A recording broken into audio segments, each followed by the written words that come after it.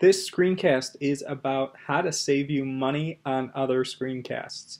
Now, I'm using Camtasia, which is a popular product for creating screencasts. It has that uh, professional video workflow that's very similar to Final Cut or Premiere Pro. However, as an OS X Apple user, I do have a couple built-in tools that make things a lot cheaper for me. Uh, I'm going to use iMovie in combination with QuickTime Player.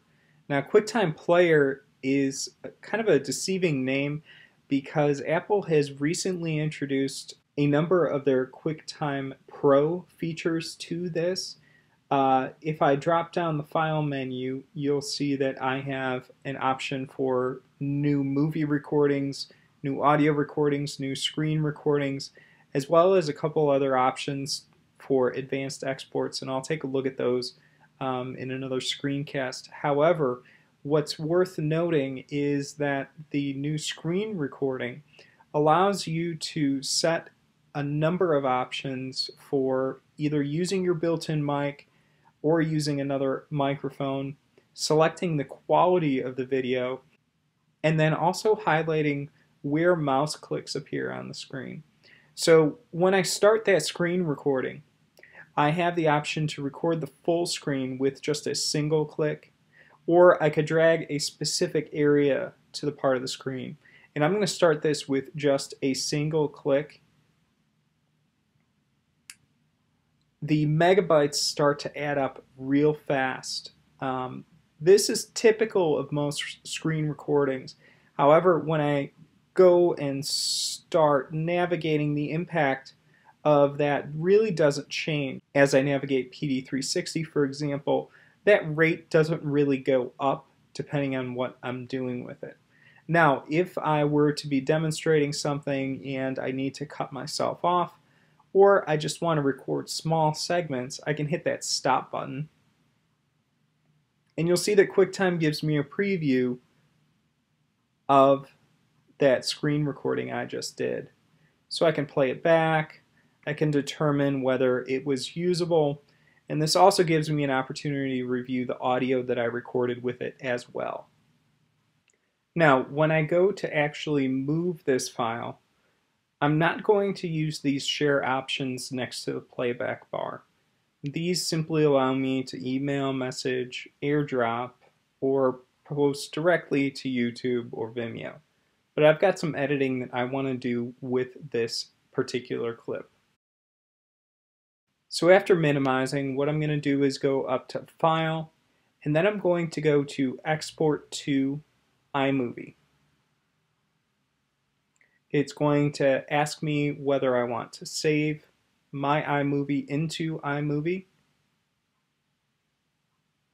And then it'll begin an export process. Now what this export process is doing is converting my existing video and putting it into what's called an iMovie Dropbox. It's making a duplicate of this screen recording. So when I close this one, I can open Finder and in my home folder, I want to make sure that I check in movies under iMovie events and then I'll see what's called the iMovie Dropbox. You'll see that I've got a number of different screen recordings in here already, but once I open up iMovie,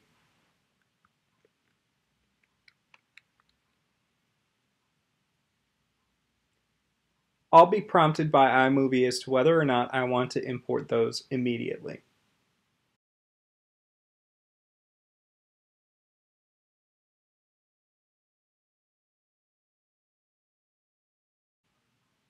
Depending on your footage depends on how much wait time you will have between the process of optimizing the video, generating the thumbnails, etc.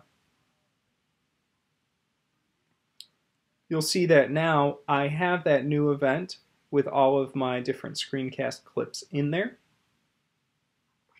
I can go up to File, New Project,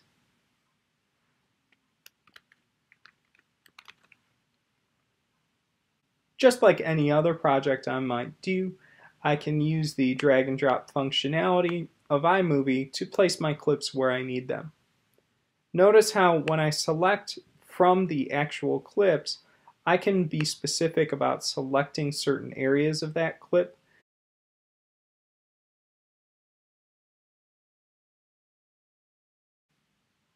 Also, if I need to review what I just selected, I can drag my cursor over, tap the spacebar, and I'll get a preview of what's going on in that clip.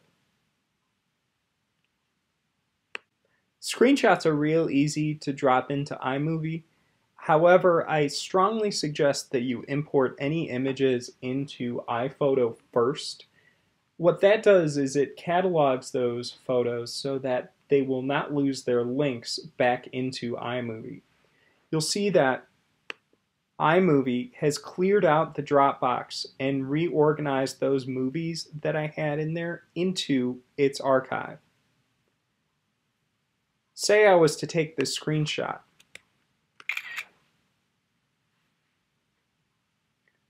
Drop it into my iMovie.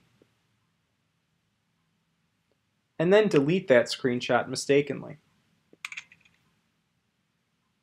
When I go to preview my iMovie, what's going to happen is that new screenshot that I just dropped in there, it's going to have a broken link.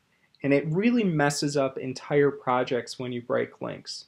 So here's the recommended process instead. I'm going to take a screenshot.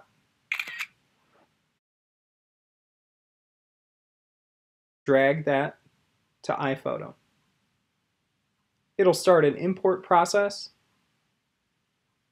and then back in iMovie, I can easily find my recently added pictures in my last import. Now it's safe for me to drag this screenshot into the trash because I can confirm that it's in the iPhoto database. Once I'm happy with my timeline in iMovie, it's important to remember that simply dragging the project file into another space is not going to create a finalized movie. These are all segments of other movies, and what iMovie needs to do is take all of the different linked files, compress them, and drop them into another new file. There's a few different ways to do that. From the Share menu, we can select YouTube, Facebook, Vimeo, but a number of these are blocked for students. However, if we export our movie, we can export it with certain settings that allow us to select the quality, such as HD 720, HD 1080, and then we can upload those files to Dropbox, Google Drive, or some other student accessible hosting service. You'll see that I have the options to decide where I want to save this finalized product. Oftentimes, I'll start with my desktop.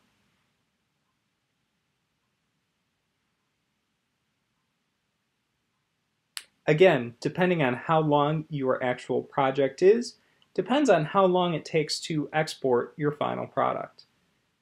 Exporting final products in HD 720 or HD 1080 often take a longer amount of time in order to properly render.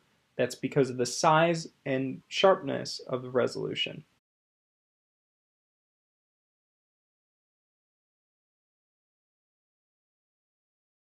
Heading back to my desktop, I've now got my screencast.mov file. This is in addition to that other screen recording file that I had from before. The screencast MOV file is that final version. I can preview it by tapping on it once, hitting the spacebar, just to confirm that I got all of the content that I need. Choose for yourself how you'd like to share that finalized product. Thanks for listening to this screencast and let me know if you have any questions.